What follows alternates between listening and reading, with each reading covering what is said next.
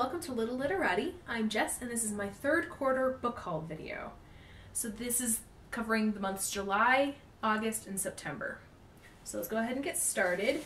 July was my smallest book haul month so far this summer. Um, I received Ghostly Echoes, which is the third book in the Jackaby series. I had pre-ordered it and so that it arrived in July. I had also pre-ordered The Secret of the India Orchid, which is one of the proper romance books. It is a companion book, not exactly a direct sequel, but definitely has some of the same characters as My Fair Gentleman by Nancy Campbell Allen. And so I'd been really excited about this since I had really enjoyed that book. And then it arrived, and it is a half an inch narrower and shorter than all the other books in the series. And it was a bad day anyway. I was not feeling well. And so this kind of ruined the rest of that day. And honestly, I haven't picked it up to read it since. So it's been on my shelf for a few months now and I don't know, it just, it really turned me off. In fact, I went and picked up from a store the last book in the Proper Romance line, which is The Vicar's Daughter by Josi Kilpack. And you can see how it's definitely smaller and narrower. And so with all of these books on my shelf, The Secret of the India Orchid definitely looks out of place and kind of gap-toothed, which just really makes my skin crawl when I look at it. It really bugs me, and so I haven't been able to bring myself to pick it up and read it yet. I actually haven't brought myself to read The Vicar's Daughter yet either, but I'm that's higher on my list of priorities actually than The Secret of the India Orchid, which is disappointing since I was looking forward to the story. Anyway, um, the book for Fairy Loot in July was Daughter of the Burning City um, by Amanda Foody. So, like I said, not a very big month. I probably subconsciously anyway got turned off by that orchid, orchid book. And then in or in August, I did a little bit better. I finally bought for Darkness Shows the Stars and Across the Star Swept Sea, um, and add those to my classic adaptations shelf.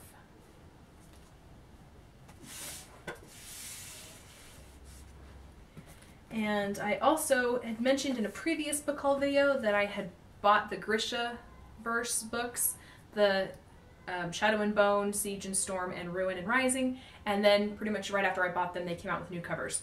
So I bought the books with the new covers. I like the font, I think it's really cool, and I like the covers a lot better on these, and they're shimmery.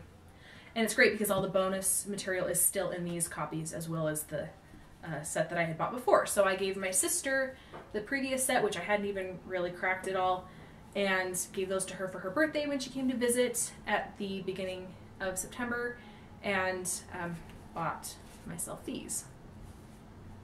So I like them, they're pretty, and they're going to match then eventually the paperbacks of Six of Crows and then Crooked Kingdom because it'll have all the same fonts and everything. So I think they'll look really pretty on my shelf. And then for my subscription box books, I received Wicked Like a Wildfire by Fairy Loot in or by Lana Popovic, or I don't know how you pronounce that exactly, but anyway, I received this from Fairy Loot in August, and then I received The Hearts We Sold from Owlcrate by Emily Lloyd Jones. And now we get to September, which is by far the biggest haul month for this uh, quarter. So I we went at the beginning of September. We drove down to Texas for my niece's wedding, and while we were down there, uh, my brother-in-law lives really pretty close to a half-price books, which we don't have in the state where I live. And so I begged my husband to let me go in and peruse, and I was able to find some things that I'd been looking for for months, if not years. So first of all, I found The Runelords, which is book one in the Runelords series by David Farland. I have books two through I think five, and I have been looking for I think three years now. I've been looking in every used bookstore I go to for book one, which is I think is the best one and is my favorite, and have not found it. I found I keep finding books two, I keep finding book three, I keep finding book four, but never book one. So I walked in there and they had book one, and so I grabbed it, and it was half price books, so I was able to get it for really pretty cheap. So yay! I now have the beginning of the series, and my shelf looks more complete. There's not that hole sitting there glaring at me every time I look at it. I also got book four in the Eyre Affair series, Something Rotten. And so now, and it is in the same edition, the same size as the first three books that I have. And so I'm looking forward to being able to read books one through four in the Thursday Next series with Something Rotten. Also from the Half Price Books. I was able to find for my kids, which I'm not putting in this book, all these are just my books that I do these for, but I finally also found um, when I was a kid, I really loved the Bailey School Kids books when I was in elementary school, and so I bought for my daughter's, I think, fifth birthday, fourth birthday, my oldest, um, so a year or so ago, I bought her as, this huge haul that I could find on eBay of the original covers, not the new kind of, I think they look a little bit grotesque. But anyway, I, I really like the original covers, and I bought her books 1 through 25, except for book 19. I could not find Gargoyles Don't Drive School Buses anywhere. And again, I would look in every time I'd go to my local bookstore, I would just see if maybe they had received a new copy. It was never there. I checked other used bookstores in my area, it was never there. I checked the library sales, they never had it. And so I walked into that half price books and it was on the shelf and it was in the original cover, and so I bought it, and so we added that to my collection as well. So, yay, we have books 1 through 25 all in a row. I also found this copy of Clockwork Princess, which I will confess I have not read anything by Cassandra Clare. But um, I've had friends and family tell me that if I'm going to read them, given my proclivity for the Victorian era, 19th century lit, all of that, that I'd probably really enjoy the Infernal Devices series. And so this is book three, and I really liked the, the spine cover art. And I knew that if I could find books one and two, then they will make a picture. Um, I just found book three, but I figured, well, for half price, it was really pretty cheap, and so I might actually, if I own the book, might actually get around to reading the series sometime soonish. So I thought I'd go ahead and pick this up, and then hopefully just keep my eyes peeled for books one and two whenever I get a chance. So those were all from Half Price Books in Texas. And then when I got back, I had a couple of pre-orders waiting for me. I had pre-ordered Frost Like Night, which is book three the last book in the Snow Like Ashes trilogy by Sara Raasch. And so I now have that complete series. And I've also pre-ordered Empire of Storms in paperback by Sarah J. Maas. And this is book five, not counting the prequel. And um, so I've been really looking forward to this as well. And so it finally arrived, and I was very eager to get my hands on it and hoping that the mail post office people hadn't just shoved my packages into the post office box and stuffed other stuff on top of it while we were gone, even though we put our mail on hold. They still somehow missed a day and shoved a bunch of stuff in there. But my book looks great, and so I was happy. And it was there waiting for me when we got back from our trip. So yay! Empire of Storms. Um, then I went back to my local used bookstore and just kind of oh and of course I went back to my local used bookstore and they had Gargoyles Don't Drive School Buses. In fact, they had two copies. Go figure. So, oh well, I was able to get a copy and I was happy. And then from that store, I bought Entwined, which by Heather Dixon, which is a fairy tale retelling of um, the Twelve Dancing Princesses. And so I haven't read this yet, but I had read really good things about it, and a lot of people had really enjoyed it. So I wanted to add this to my fairy tale retellings shelf. And even though I was kind of grumpy about them finally having a book local to me that I'd been looking for for a couple of years.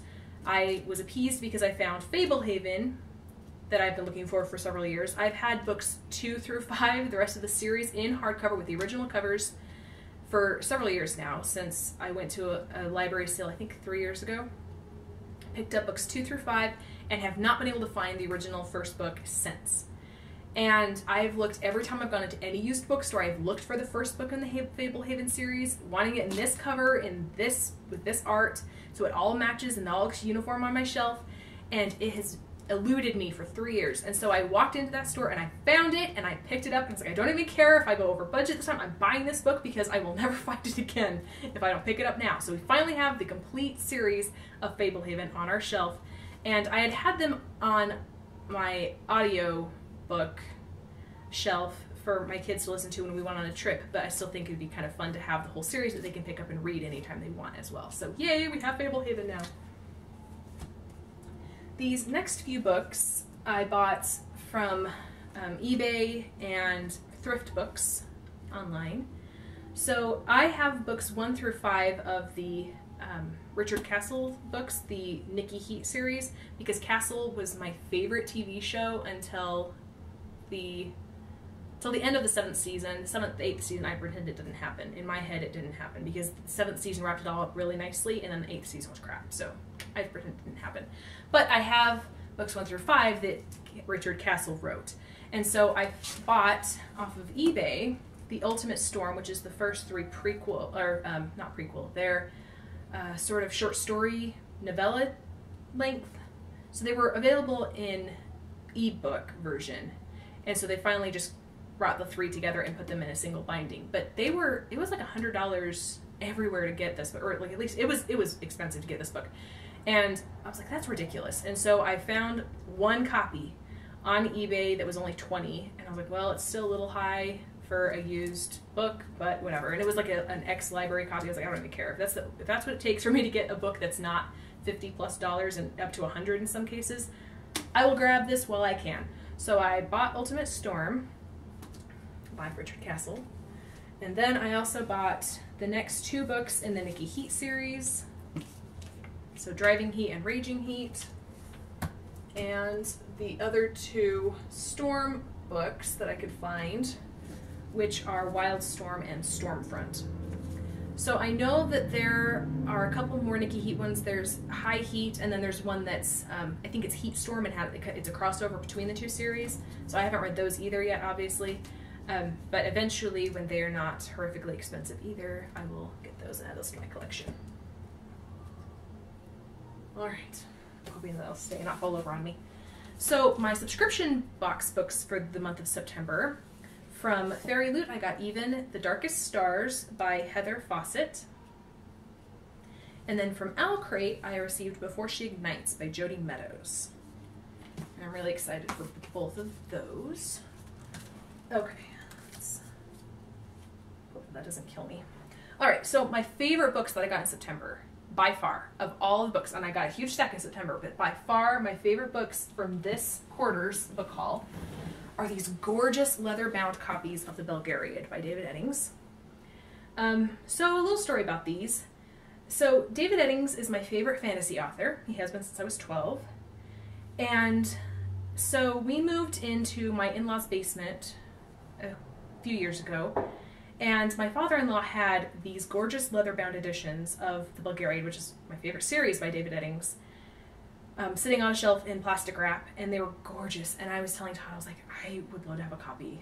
If your if your parents die, I would love to be able to. And that sounds terrible, like I would love to be able to inherit those. I don't care about anything else. I don't care about the house or anything else. I want those books. And my husband just kind of laughed and said, Yeah, well, we'll see.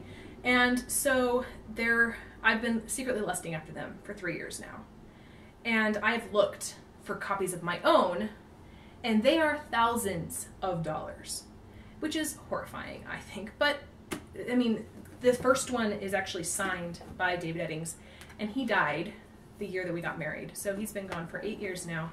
And so, I mean, I get that they are, and they're beautiful. They're bound with real gold, and they're gorgeous, but still thousands of dollars. And I was like, well, someday, someday, someday I'll be able to have copies of my own.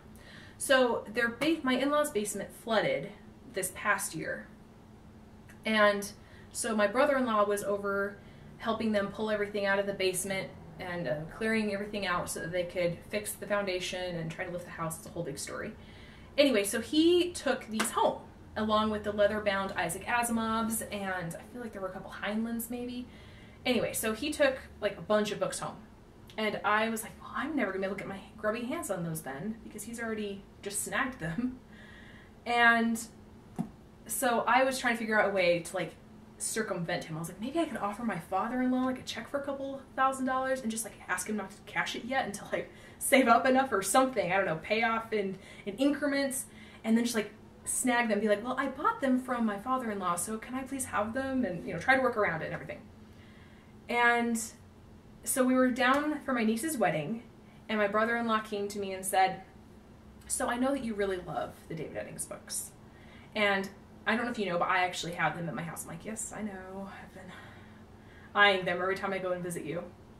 He says, well, I know that you really, really love these, and so I want to give them to you. And I started crying right there, gave him a huge hug, and was like, thank you, that's amazing. He's like, as long as you're okay with me keeping the Isaac, the Isaac Asimov books. I'm like, I don't care. My husband likes them, but I don't care. Like, I'll get him some other nice things too, but thank you for letting me have these. So, we came back from the wedding, and um, he brought these over, and actually, I went and got them, and he gave them to me. So now I have my very own copies that I didn't have to spend thousands of dollars for.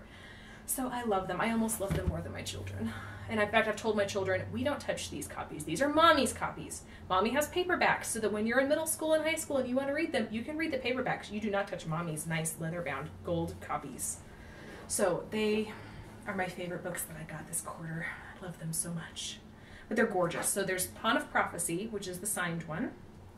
There's Queen of Sorcery, book two. The Magician's Gambit, book three. Castle of Wizardry, book four, and Enchanter's Endgame, book five.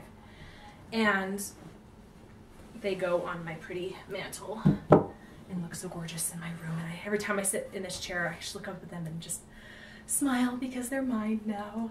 So, anyway, so all told, um, I definitely got better as the months went along this summer. Uh, all told, this is 30 books that I received, that I bought, that just I got into my possession this quarter. And so I love most of them. I especially love, of course, these ones. And I'm very look, I'm very excited to add so many wonderful new books to my collection. So let me know what you got this quarter. Let me know if there's anything here that you've read or that you have or that you love and that you're interested in reading for yourself. And we will see you in the next video.